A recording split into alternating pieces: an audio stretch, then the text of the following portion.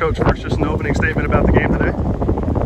Um, I thought we. I thought we well. Uh, we improved uh, from week one to week two, like we wanted to. Just got to take it to the next level now. Uh, we got to find some ways. To, some other guys making some plays and you know take advantage of some opportunities. And we got to play cleaner football. You know, this is a tough league, and so um, we can't play sloppy football and, and, expect to come out with a victory. So uh, it's we're progressing, and we got to keep doing that. We got to get better every week. Perfect.